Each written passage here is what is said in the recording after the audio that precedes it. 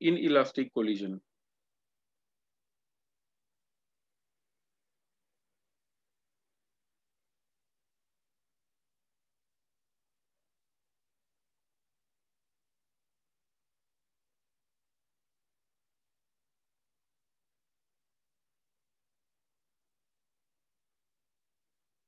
देखते हैं elastic collision क्या होगा।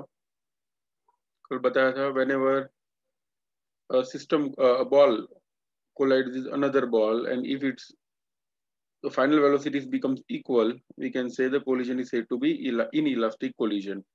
Elastic collision. जैसे two spheres initially they are having different velocities. Sphere number 1 sphere number two दोनों की वेलोसिटीज अलग अलग है।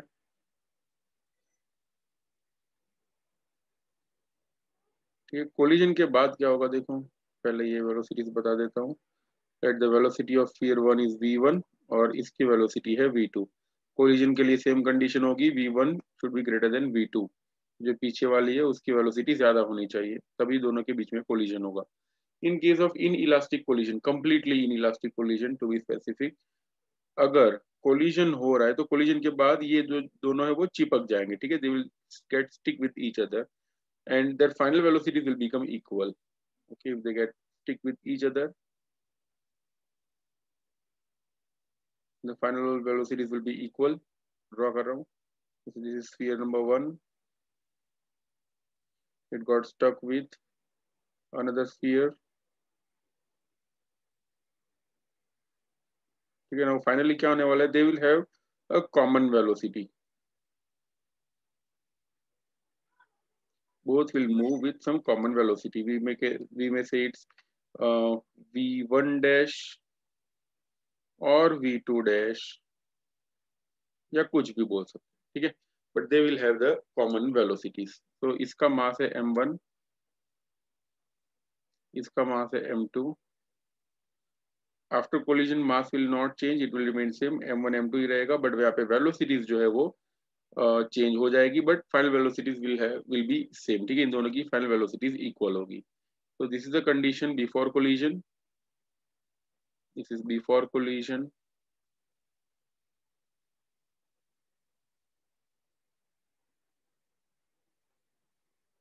और जो नीचे वाली है this is the condition after collision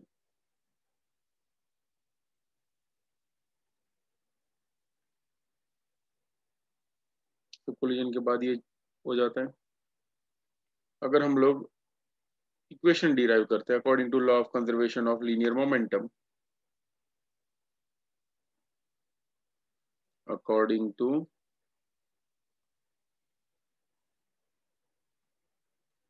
law of conservation पूरा क्यों लिख रहा हूँ मैं? पूरा तो आप लोगों को लिखना है।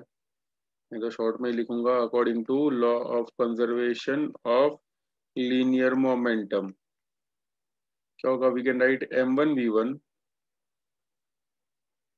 plus m two v two is equal to m one v one dash plus m two v two dash ये तो मैंने ड्रॉ करके बताया हुआ है कि वेलोसिटी सेम हो जाएगी बट हमको ये प्रूव करना पड़ेगा कि वी वन डैश और वी टू डैश सेम होंगे, ऐसा हमको प्रूव करना पड़ेगा। So according to law of conservation of linear momentum m1 v1 plus m2 v2 is equal to m1 v1 dash plus m2 v2 dash अब याद करो collision is inelastic that इसको equation number one बोल देते हैं this is one for inelastic collision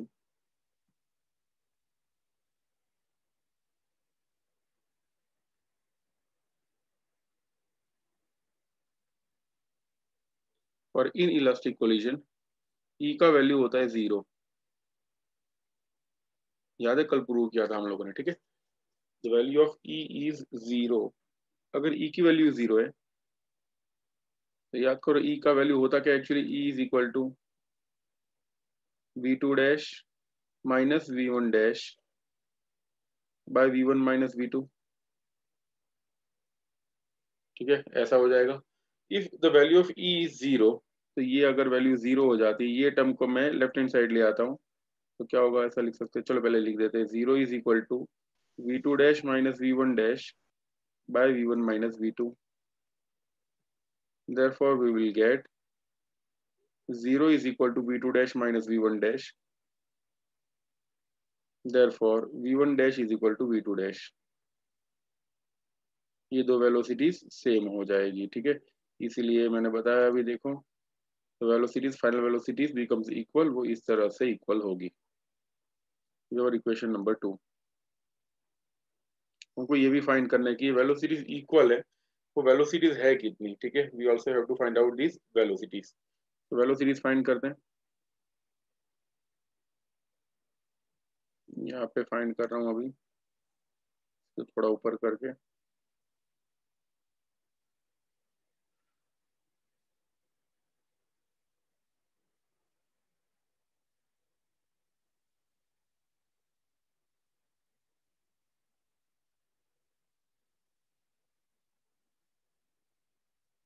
देखो two की value one में रख देते हैं। Putting the value of equation two की वैल्यू रख देते हैं इक्वेशन वन में। Put the value of equation two in equation one तो कुछ ऐसा मिलेगा। Therefore m one v one plus m two v two will be equal to v1 dash bracket में m1 plus m2 तो therefore we one dash का equation मिल जाएगा। V1 dash बोलो या फिर v2 डैश बोलो, दोनों एक ही होंगे। That will be m1 v1 plus m2 v2 by m one plus m two this is our final equation for inelastic collision ठीक है, दोनों वेलोसिटी सेम होती है और वो सेम वेलोसिटी इतनी होगी। M1 v1 plus m2 v2 by m1 plus m2 तो जल्दी से ये लिखो and then raise your hand पता है ना सीक्वेंस क्या होगा? सबसे पहले ये वाला डायग्राम देन दिस थिंग और उसके बाद लास्ट में ये वाला लिखना है ओके तो लिख लो and then raise your hand now we'll study about elastic collision in two dimensions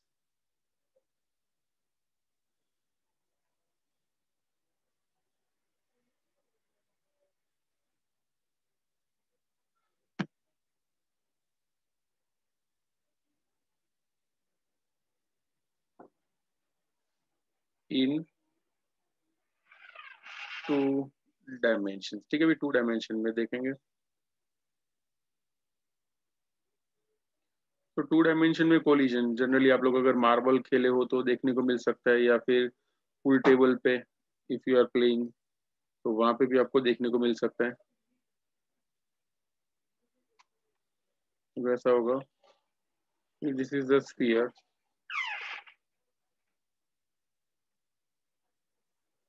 ये एक स्फीयर है। It is moving along x axis ठीक है, वो एक्स एक्सिस के ऊपर ही जा रहा है लाइक दिस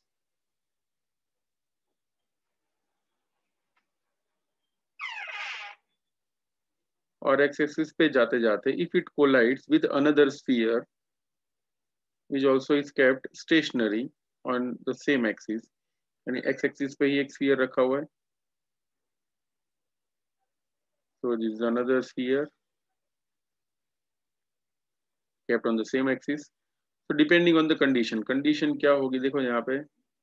ये जो sphere है ओके दिस टू spheres. अब अगर इन दोनों का सेंटर ध्यान देना अगर इसका centre centre of the first sphere अगर इसके सेंटर के साथ कोइंसाइड हो रहा है तो हमेशा टू डायमेंशनल कोलिजन होगा। सॉरी वन डायमेंशनल कोलिजन होगा। ठीक है? अगर उसे बोलते हैं हेड ऑन कोलिजन ओके फिर से बता रहा हूँ, जो हम लोगों ने पहले केस पढ़े उसमें क्या था? इसका सेंटर और इसका सेंटर इन दोनों का सेंटर एक ही एक्सिस पे हो तो क्या होगा? कोलिजन के बाद, ये जैसे इसके साथ कोलाइड होगा तो कोलाइड होने के बाद ये ऐसे सीधा एक्स एक्सिस पे ही जाएगा ओके बट अगर if it is two dimensional two dimension ऐसे हो सकता है कि इसका सेंटर थोड़ा सा ऊपर हो, ये जो दिख रहा है, इसका सेंटर थोड़ा सा ऊपर और ये जो दिख रहा है इसका सेंटर थोड़ा सा नीचे हो। इन दैट केस अगर ये कोलाइड हो रहा है तो क्या होगा? कोलिजन के बाद ये जाएगा नीचे और ये वाला जाएगा ऊपर। ठीक है? सो so, इस कोलिजन को ऑब्लिक कोलिजन भी बोलते हैं। Okay this is called oblique collision ऐसे कोलाइड हुआ कोलिजन के बाद ग्रीन वाला नीचे जाएगा और ब्लू वाला ऊपर। Okay okay? तो इस तरह से कोलिजन होगा। अभी हम लोग ये देखेंगे ये oblique collision this is called oblique collision centre थोड़ा सा ही ऊपर था, ज़्यादा ऊपर नहीं होता है। Also called oblique collision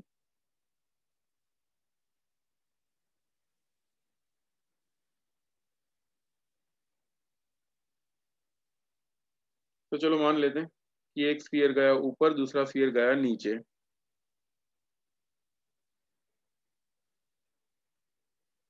okay यानी कोलिजन हुआ इन दोनों के बीच में।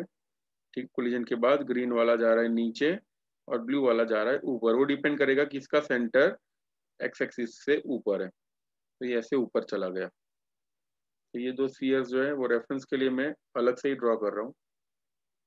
ग्रीन जा रहा है नीचे। ऐसा मत सोचना अभी चार स्फीयर हो गए। There just two spheres showing two different conditions तो ग्रीन वाला नीचे जा रहा है और ब्लू वाला जा रहा है ऊपर। अगर मान लो ब्लू वाले का सेंटर थोड़ा सा नीचे हो तो वो भी नीचे जा सकते हैं। चलो, जब ये ऊपर जाएगा एट दैट टाइम अब देखो। If it goes up ऐसा ये ऊपर गया। और ये गया नीचे। इस कोलिजन को हम लोग टू डायमेंशनल कोलिजन बोल सकते हैं कोलिजन इन टू डायमेंशन ये एंगल है theta one this angle is theta one और ये एंगल जो बन रहा है वो है थीटा टू ये theta one theta two same हो भी सकते हैं नहीं भी हो सकते। It depends on the masses okay इसके कितने मास है उसके ऊपर डिपेंड करेगा। ओके okay, और ये जो कोलिजन हो रहा है उनकी स्पीड्स पे भी डिपेंड करेगा। ये वाई एक्सिस मान लेते हैं।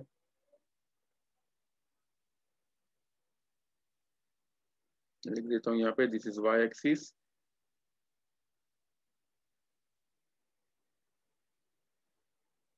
and this is x-axis. देखो कोई भी टाइप का कोलिजन हम लोग अगर पढ़ रहे हो तो सबसे पहले एक लॉ तो लगानी है that is law of conservation of linear momentum तो यहाँ पे भी हम लोग law of conservation of linear momentum लगाएँगे। थोड़ी जगह कम है, इसलिए इसको कॉम्प्रेस कर रहा हूँ।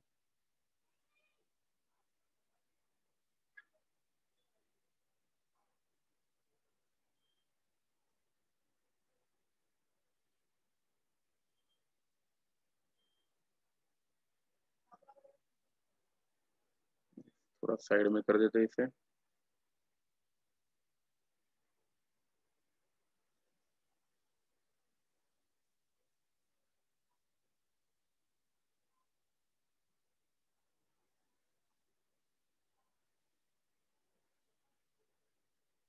एक्स एक्सिस तो सबसे पहले लगाना है हमको law of conservation of linear momentum तो if you apply law of conservation of linear momentum तो ऐसा होगा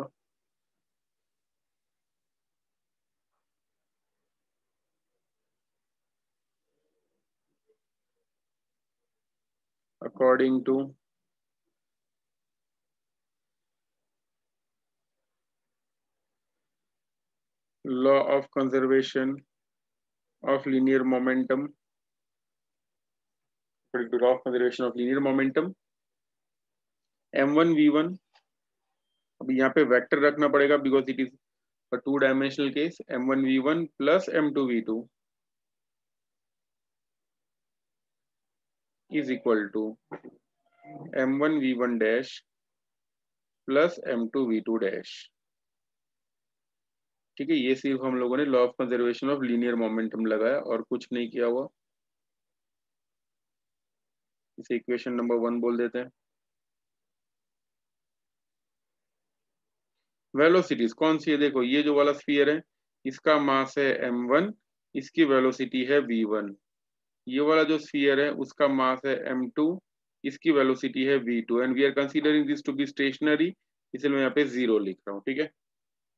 अब ये जो ब्लू वाला ऊपर जा रहा है, उसकी वेलोसिटी देखो, मास तो वही रहेगा velocity will become v one dash और इसकी वेलोसिटी हो जाती है वी टू डैश ओके अब देखो v two is equal to zero here v2 की वैल्यू है zero if v2 is equal to zero तो क्या मिलेगा इक्वेशन में? We will get m1 v1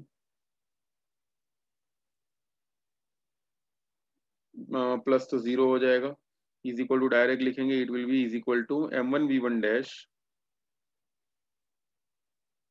plus m two v two dash ठीक है वी टू ज़ीरो इसलिए हम लोगों ने ये इक्वेशन लिखा, इस इक्वेशन नंबर टू बोलेंगे।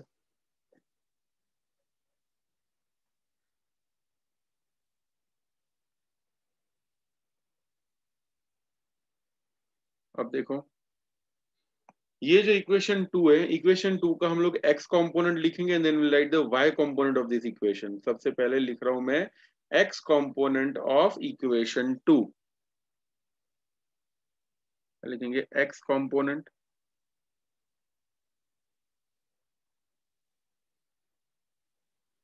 of equation 2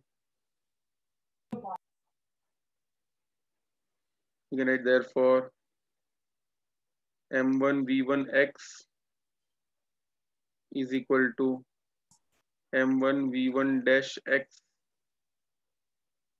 plus m2 v2 dash x. समझ में सिर्फ़ x कॉम्पोनेंट लिखा। अब याद करो ax की वैल्यू होती है a cos थीटा ठीक है? Ax की value a cos theta a y की वैल्यू होती है, a sin theta and so on ठीक है? तो वैसे यहाँ पे m one v one x की वैल्यू क्या होगी? It will be m one v one cos of देखो, यहाँ पे वी वन और एक्स के बीच में कितना एंगल बन रहा है? देखो और बताओ what is angle between v one and x axis the angle between v one and x axis is zero लिखेंगे m one v one cos zero is equal to m one v one dash cos of कितना angle बन रहा है? One dash का x axis के साथ। ये रहा वी वन डैश एक्स के साथ कितना एंगल बना रहा है? it's theta 1. So we'll write m1 v1 dash cos theta 1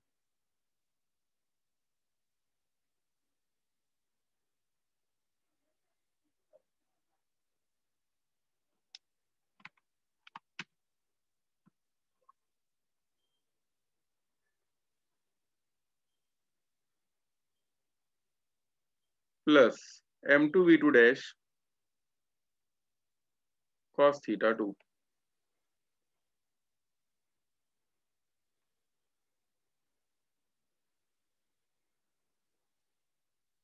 ठीक है? cos ज़ीरो की वैल्यू वन होती है so that's why we can write m1 v1 cos zero one हो गया is equal to m1 v1 dash cos theta one plus m2 v2 dash cos theta two सिर्फ़ इतना ही याद रखना है। X कंपोनेंट के लिए और कुछ आगे डेरिवेशन नहीं करना। है सीधा फिर वाई कंपोनेंट आएगा अभी। इक्वेशन नंबर थ्री अब देखते हैं y component of equation two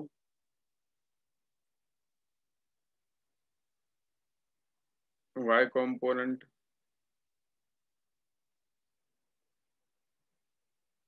of equation 2 कितना होगा will write m one v one कितना बन रहा, बना रहा है? वी वन वाई एक्सिस के साथ एंगल देखो वी वन का वाई के साथ एंगल कितना बन रहा है?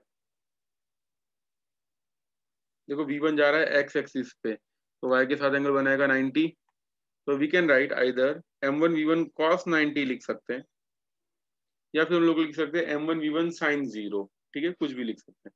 जैसे हम लोग ऐसा लिखते थे ना, जैसे if this angle is theta a x is equal to a cos theta लिखते हैं। और a y is equal to क्या करते हैं ए अगर कॉस का साइन कर देते तो एंगल वही का वही रहेगा। ओके विल नॉट चेंज तो या तो फिर साइन नाइनटी लिखो या फिर सॉरी कॉस नाइनटी लिखो या फिर साइन ज़ीरो लिखो।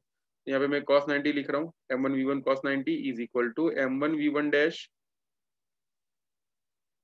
sine theta one minus m two v two dash sine theta two. बताएगा कोई माइनस क्यों आ रहा है? वी टू डैश में माइनस क्यों आ रहा है?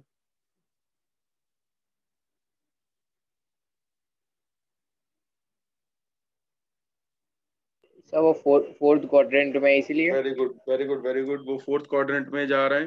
फोर्थ क्वाड्रेंट ये रहा। फोर्थ क्वाड्रेंट में अगर हम लोग वाई कॉम्पोनेंट फाइंड करेंगे इसका if you find out the y component तो वाई कॉम्पोनेंट देखो नेगेटिव वाई की तरफ़ जा रहा है, ठीक है? It is moving towards negative y अगर x कॉम्पोनेंट फाइंड करें तो x तो पॉजिटिव x की तरफ़ जा रहा है तो x कॉम्पोनेंट पॉजिटिव होगा but if you find out the y component तो y component will be negative okay वैसे ये वाले केस में क्या है, देखो इन दिस केस इसका x कंपोनेंट पॉजिटिव है, और इसका y कंपोनेंट भी पॉजिटिव है। इसीलिए y में सॉरी v1 में दोनों पॉजिटिव थे, देखो।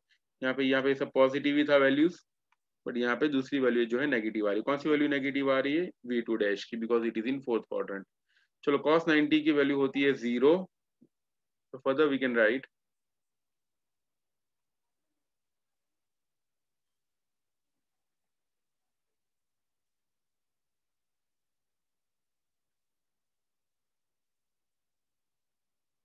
we can write therefore m1 v1 cos 90 यानी ये सब ज़ीरो हो जाएगा। Zero is equal to m one v one dash sine theta one minus m two v two dash sine theta two और we can write m one v one dash sine theta one जितना sine वाला component होगा sorry जितना y component होगा we one का, उतना ही y component होगा वी टू डैश का।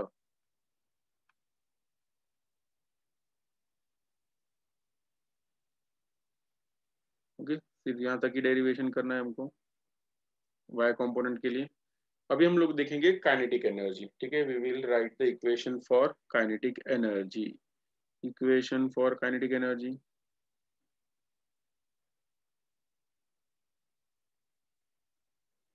if this collision is elastic in nature for elastic collision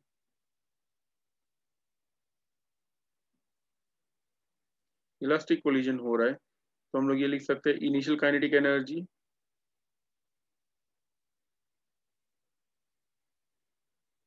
is equal to final kinetic energy तो यहाँ पे इतनी जगह नहीं है ये काइनेटिक एनर्जीज नेक्स्ट स्क्रीन में डिराइव कर दे तब तक ये लिख लो and then raise your hand energies ठीक है? काइनेटिक एनर्जीज क्या लिखा मैंने?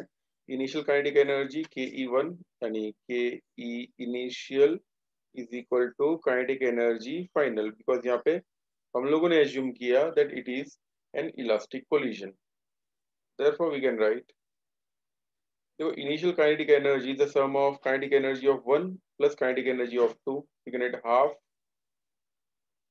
m1 v1 square plus half m2 v2 square is equal to half m1 v1 dash square plus half m2 v2 dash square okay अब देखो इसमें half half half लोग cut कर सकते हैं बट हाफ़ हाफ़ भी कट मत करना एक स्पेशल इक्वेशन डिराइव कर रहे हैं देखो यहाँ पे initial velocity of sphere 2 is zero as initial velocity of sphere 2 is zero we, this term can be neglected zero हो जाएगा ये टर्म तो ऐसा हो जाएगा half m1 v1 square will be equal to half m1 v1 dash ka square plus half m2 v2 dash का square ठीक है? तो this is the comparison of kinetic energy now अभी हाफ़ और एम को कट करना हो तो कर सकते हैं। इफ़ यू कट हाफ़ तो ऐसा होगा। You can write m v one square m one v one square is equal to m1 v1 dash square plus m2 v2 dash square.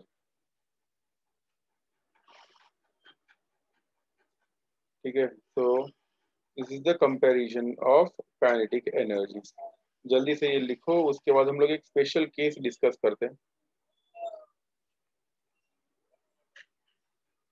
Okay no problem concept जैसे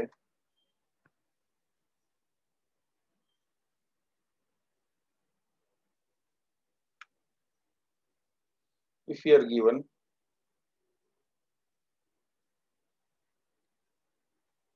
vector A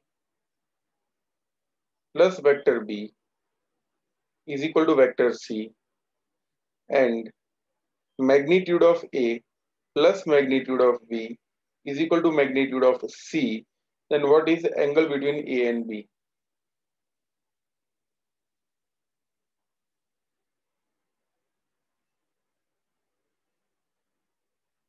A और B के बीच में angle कितना होगा so A plus B is equal to C दिया हुआ है A plus B is equal to C दिया हुआ देखो, ऊपर जो दिया हुआ है वेक्टर में दिया हुआ है, नीचे वाला दिया हुआ है, वो स्केलर रिलेशन दिया हुआ है।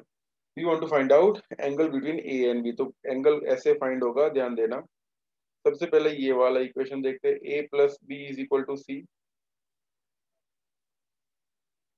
इस इक्वेशन को मैं स्क्वायर कर देता हूँ। Squaring both sides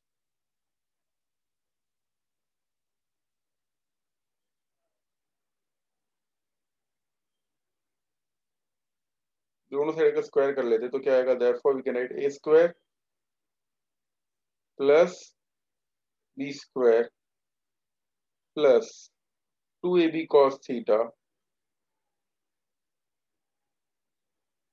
is equal to C square अगर ये स्टेप समझ में नहीं आया तो अभी बता दो, नहीं तो मैं आगे चला जाऊँगा।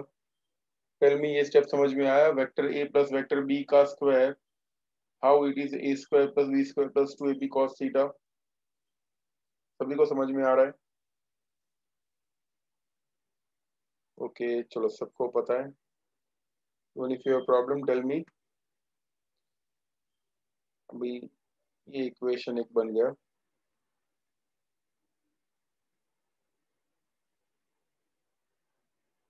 Let this be equation one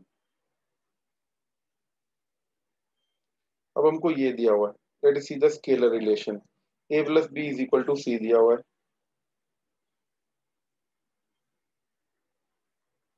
okay okay, बता देता हूँ कॉस सीटा कैसे आया।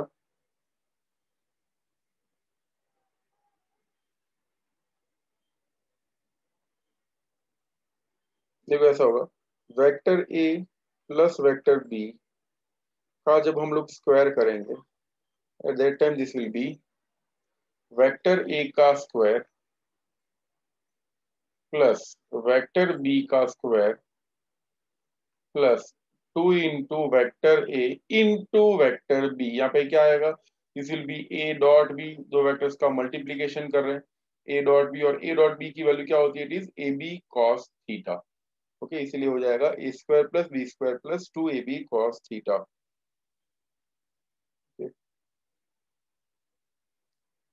चलो भाई। अब ये वाला रिलेशन देख लेते A plus B is equal to C A plus B is equal to C दोनों साइड स्क्वायर कर लेते तो क्या आएगा? ये तो सिर्फ़ सिंपल स्केलर वाला है। A square plus B square plus two A B यहाँ पर तो वेक्टर वेक्टर कुछ नहीं है। Is equal to C square equation two बन गया।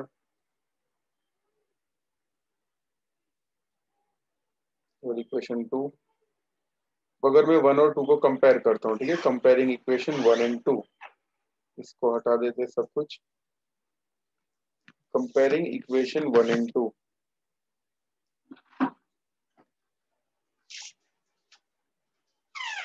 we compare equation 1 and 2 तो कुछ ऐसा होगा। Therefore, a square plus b square a square plus b square plus 2ab cos theta is equal to देखो यहाँ पे लिखा हुआ है सी स्क्वायर और सी स्क्वायर की वैल्यू तो ये होती है A square plus B square plus two A B तो मैं ये लिख दूँगा this will be A square plus B square plus two A B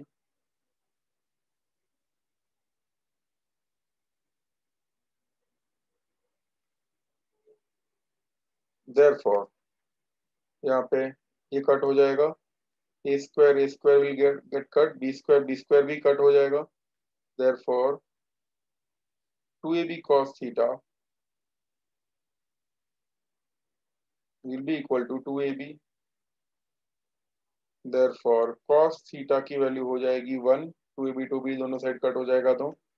अगर cos थीटा की वैल्यू 1 है तो थीटा की वैल्यू क्या होगी? ज़ीरो तो यहाँ पे angle between A and B हो जाएगा ज़ीरो ठीक है? A will be parallel to B दोनों एक ही डायरेक्शन में होंगे, ठीक है? तो theta will be equal to zero तो यहाँ तक हम लोगों ने खत्म कर दिया, ठीक है? इसके बाद हाफ़ पेज छोड़ दो हाफ़ पेज ठीक है?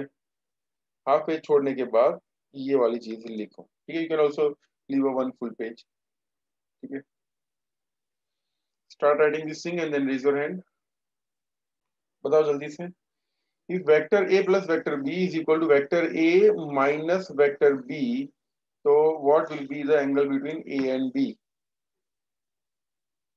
let's solve this thing vector A plus vector B is equal to vector A minus vector B ये दिया हुआ है। इस इक्वेशन का मैं स्क्वायर करता हूँ, ठीक है?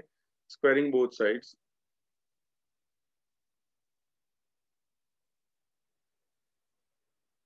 squaring both sides. जैसा मिलेगा A square plus B square plus two A B cos theta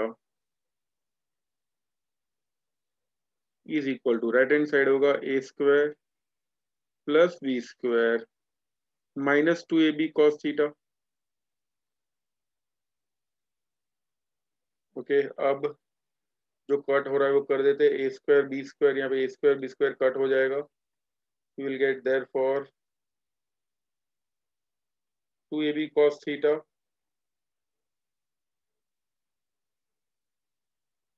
is equal to minus two A B cos theta इस इक्वेशन को मैं यहाँ पे ले आता हूँ। जैसे ए बी ए बी भी कट कर सकते कोई प्रॉब्लम नहीं है। तो टू ए बी कट कर देते no problem okay So cos theta will be equal to minus cos theta. Therefore, 2 cos theta is equal to 0. Therefore, cos theta is equal to 0. Cos theta 0 कब होता है बोलो भाई when is cos theta 0 when theta is equal to 90 degree angle 90 and bs angle होगा 90 degree okay चलो, एक last ये वाला सॉल्व करके बता दो। If you are given vector A plus vector B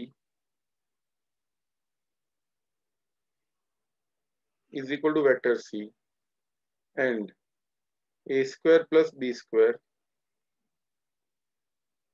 is equal to c square. Again, find out angle between a and b.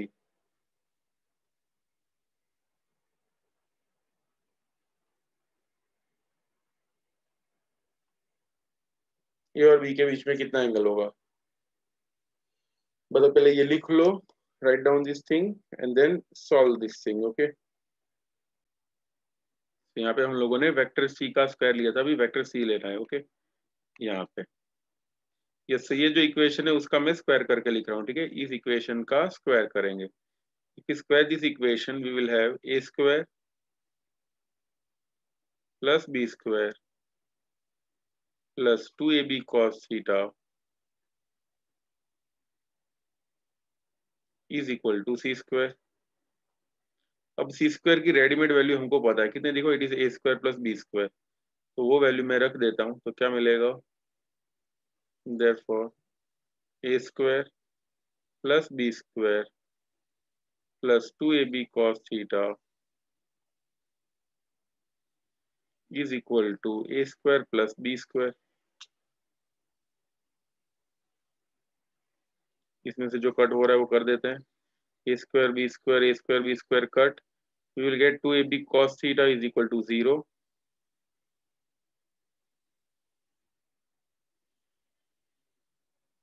two A B cos theta zero हो जाएगा। तो कॉस थीटा की वैल्यू हो जाएगी ज़ीरो और cos theta zero कब होता है? When theta is equal to 90 degree. Okay? तो लिख लो ये जल्दी से 30 सेकेंड्स दे रहा हूँ। Time starts now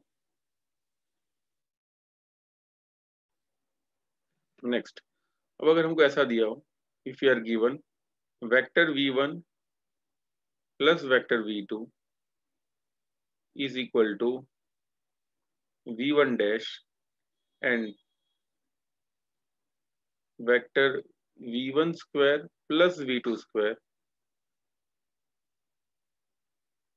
is equal to v1 dash का स्क्वायर तो v1 और v2 के बीच में कितना एंगल होगा? बोलो अभी डायरेक्ट बताना है answer what will be angle between v1 and v2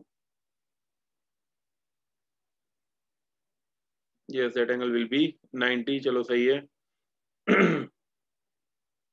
तो ये कंसेप्ट याद रखना, अगर दो वेक्टर्स दिए हो। एक्चुअली क्या होता है, देखो, ये ना स्क्वायर वाला रिलेशन किसमें होता है? पाइथागोरस वाले थियरम में आता है ना ऐसा। ओके इसीलिए एंगल दोनों के बीच में 90 डिग्री होगा। अगर ऐसा दिया हो v1 one plus v two is equal to v one dash या कुछ भी दिया हो।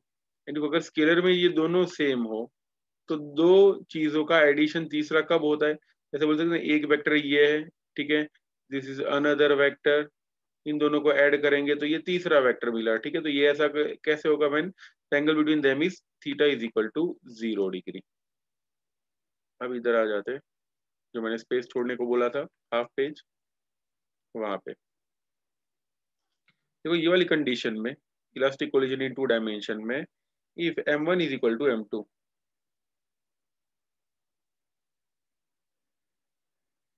m1 और m2 दोनों सेम हो जाते हैं। तो क्या होगा? We will get there for v1 square is equal to v1 dash square plus v2 dash square हो जाएगा।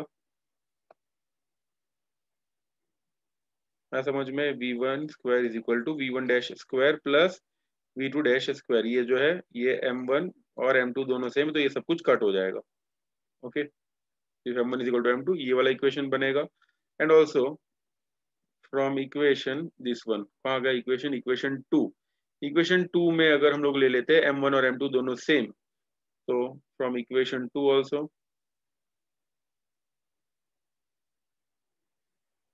if if m1 is equal to m2 from equation 2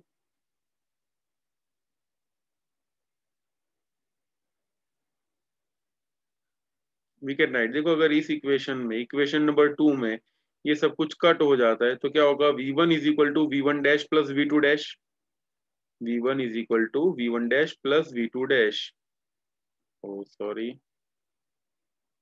yes V one is equal to vector v1 is equal to vector v1 dash plus vector v2 dash so, if we compare these two results इसको equation number कौन सा बोल देते हैं? ये equation number three तक था this is equation number four और ये जो है, इसे इक्वेशन नंबर फाइव बोल देते हैं। फोर एंड फाइव को कंपेयर करते हैं। Comparing 4 and 5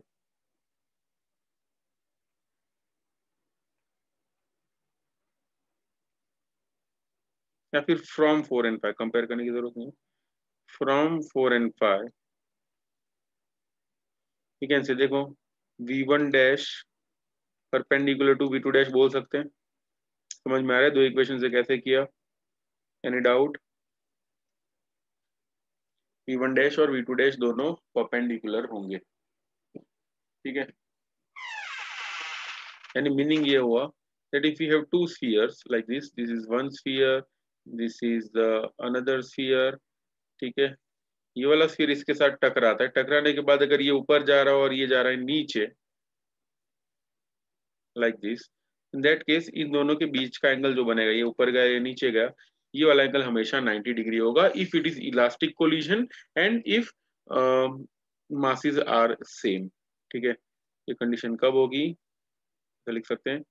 ये V one dash V two dash perpendicular कब होते हैं? When special case when mass are same m1 is equal to m2 and collision is elastic.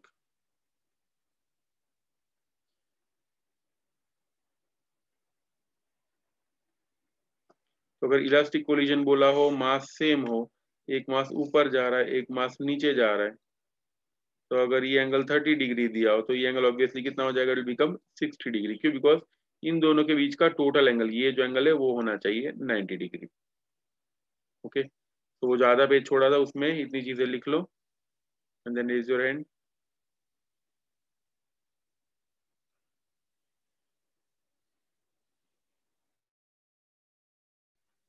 last theory बच गई है that is power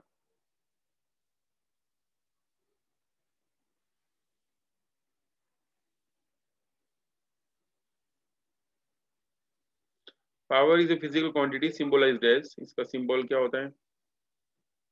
Symbol is p. It is a scalar quantity.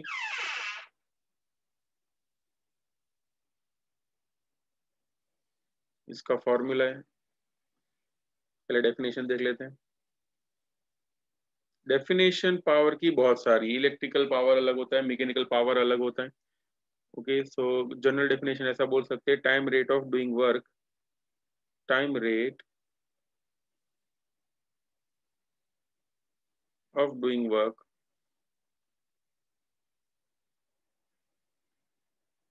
Is called power.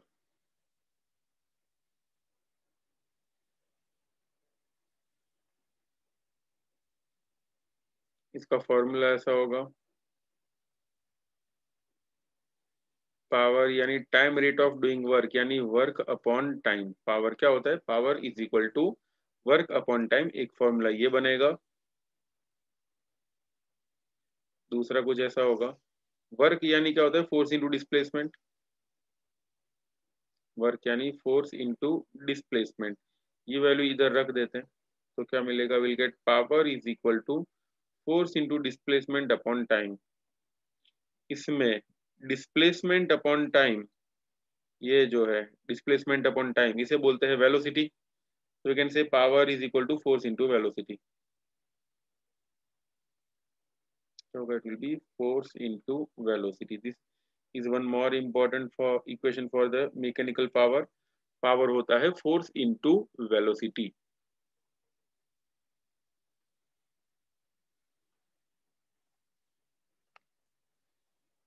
अब देख लेते हैं इसका unit unit of power कोई अगर आपको पूछे what is the unit of power तो answer is what is the unit of power ठीक है? वॉट में ऐसा W A double T watt is the unit of power इसको इंडिकेट डब्ल्यू से भी करते हैं।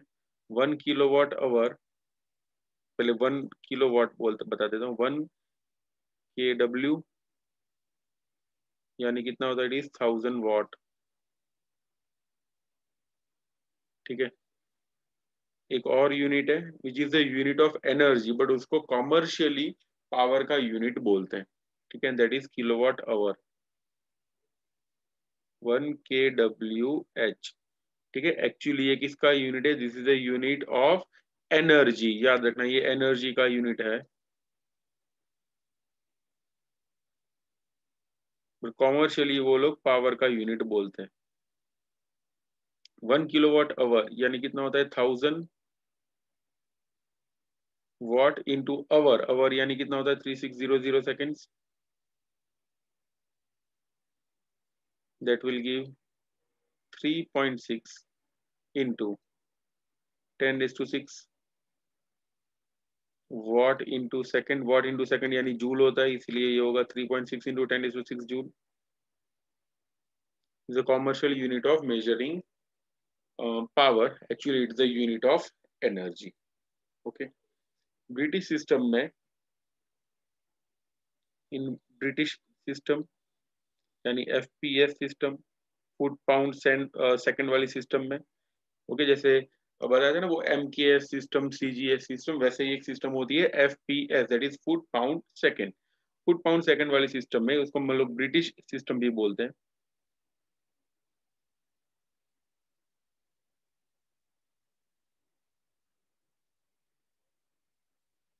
इसमें होता है one horse power, one horse power is equal to seven four six watt, ठीक है? सेवन फोर्टी सिक्स वॉट यानी वन हॉर्स पावर।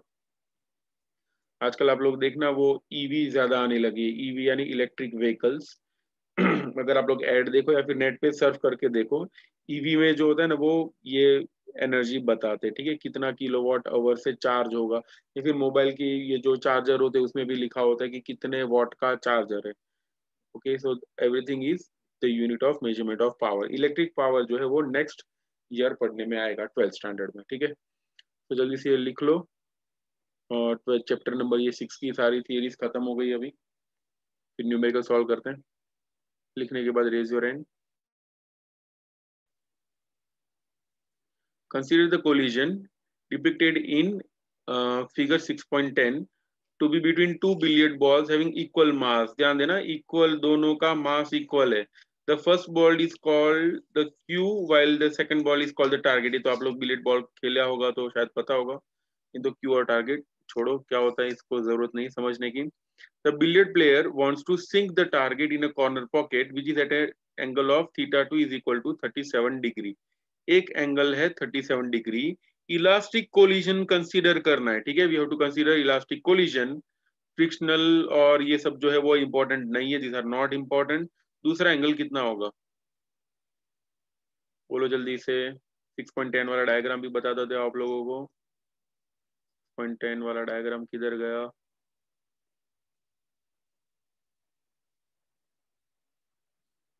ये रहा 6.10 इसमें थीटा टू दिया हुआ है थर्टी सेवन डिग्री ये इतना सा एंगल दिया हुआ है थर्टी सेवन डिग्री ये एंगल कितना होगा? फाइंड करना है। मास दोनों का सेम है और कोलिजन इलास्टिक है। गिव योर आंसर जल्दी से। डिग्री कितना? Three degree fifty three fifty three is the correct answer चलो भाई गुड क्या होता है? दोनों के बीच में एंगल 90 डिग्री होता है। Okay okay. तो यहाँ पे एंगल हो जाएगा दूसरा एंगल आएगा 53 डिग्री सो यहाँ पे देखो दिख रहा है इस angle is found to be 53 degree बस तो यहाँ तक ही रखते हैं आज का लेक्चर